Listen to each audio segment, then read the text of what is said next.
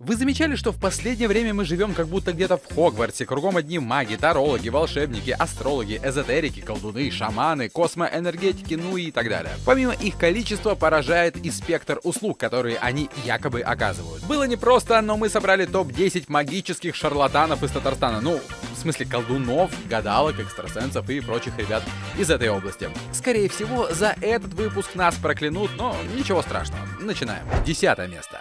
Анатолий Емельянов. Экстрасенс, ясновидящий, владеет гипнозом.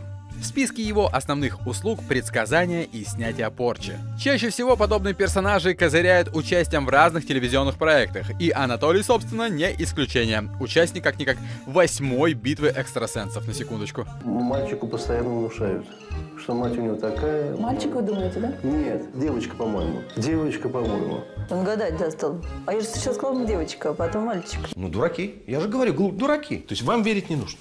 Абсолютно. Помимо его стандартных услуг, он разработал исцеляющий диск Киберсант Целитель. Это какой-то CD-носитель, который якобы выполняет роль карманного экстрасенса. Короче, какая-то дичь. Как он вообще пришел к этому, неизвестно, учитывая, что до этого всего он был учителем физкультуры. Может, мечом знатно прилетело однажды, кто его знает. Девятое место.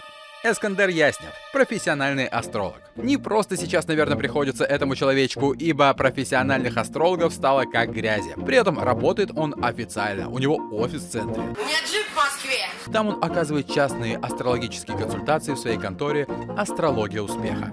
Всем привет, я Влад, мне 25, и я успешно прина... и на...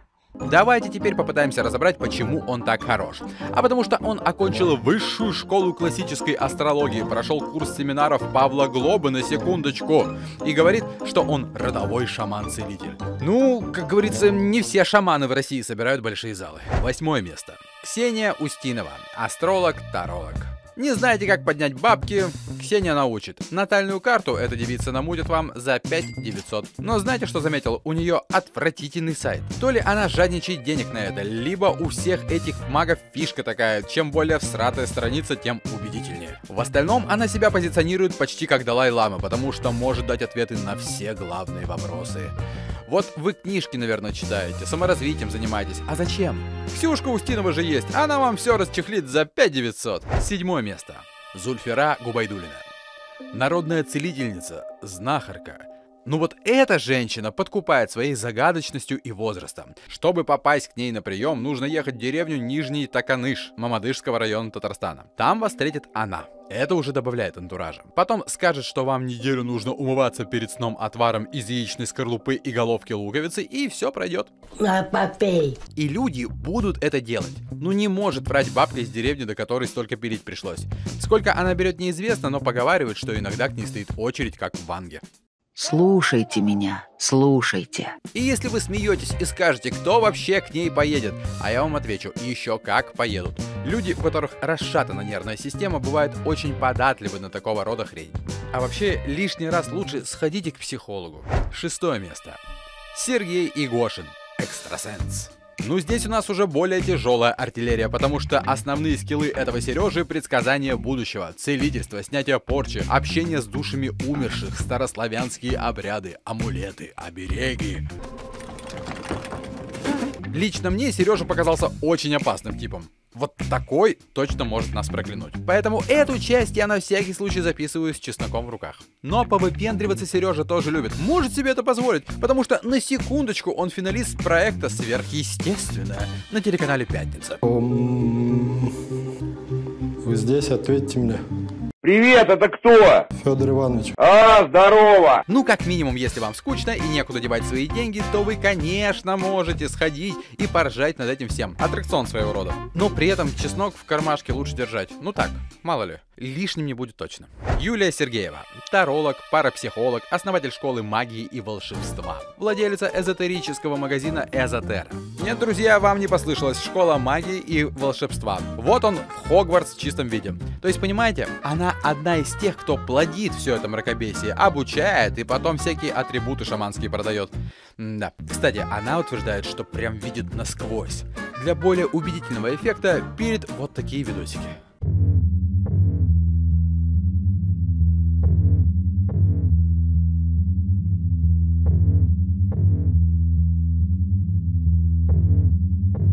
Убедительно, согласитесь? Просто в душу зрит Юля. Однако есть ощущение, что подписчиков она себе тоже наколдовала. Ну просто как-то странно, когда у тебя почти 9 тысяч подписчиков, а лайков на посте 60. Ну, не доколдовала немного. Ну и фиг бы с ним, но за две встречи она ставит прайс в 15 тысяч рублей. За эти бабки она обещает вывести вас на новый уровень и открыть дар. Интересно, а слабоумие это дар или нет? Напишите в комментариях. Титьки на стол! Четвертое место. Алсу Газимзянова. Экстрасенс предсказывает будущее. Итак, мы подобрались к тем магам, для которых нет ничего невозможного. Алсу может все. Открытие денежного канала, помощь в бизнесе, снятие негатива с человека и помещений, снятие порчи, проклятия, венца безбрачия, определит и диагностирует болезни и их причины, проблемы семейных и любовных отношений и даже устранение бесплодия. Да что ты, черт побери, такое несешь? В повседневной жизни она, между прочим, еще и ведущая программы «Седьмое чувство» на Бим Радио. А еще она пыталась стать певицей и записывала песни на татарском языке.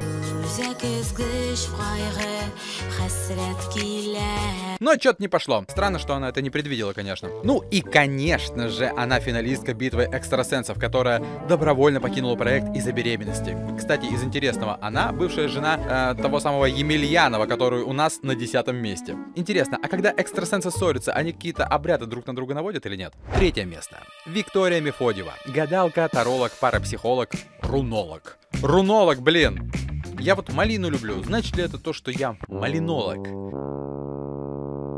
Ну да ладно. С ее слов, она в индустрии уже 22 года. В коммерческом интервью говорила, что если у человека денег нет, то она готова помочь ему даже за шоколадку. Но как же понять, крутая она или нет? Да все очень просто. Ее показывали даже на ТВ-3. Принца Виктория Мефодьева уверена избрать путь, не связанный с мистикой, она просто не могла. В роду 20-летней ясновидящей шесть бабушек-колдуней, и их сила перешла к ней по наследству. Ну вы видели, это точно уровень, и все вопросы отпадают. Не шутите с татарскими сихерче. Татарские сихерче. А лучше улучшайте свое финансовое состояние за 21 день вместе с Викторией. Ну, тут шоколадкой вы вряд ли отделаетесь, конечно. Второе место. Лиана Кочетова.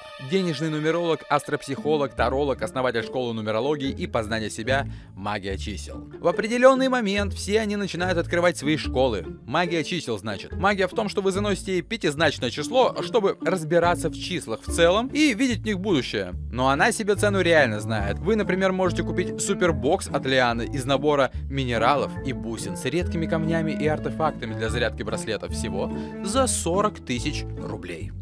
Чего? Ну это же потрясающе, заказать ширпотреб Салика, придать ему значимости и толкнуть задорого. И прикиньте, этих людей, по сути, вообще не мучает совесть. Потому что они настолько поехали на этой теме, что сами начали верить. Поэтому им норм. И вот она пишет, кодирую на изобильную жизнь. Но теперь-то понятно, что кодирует она не людей, а себя. Все просто. Первое место. Тамара Афанасьева. Мак.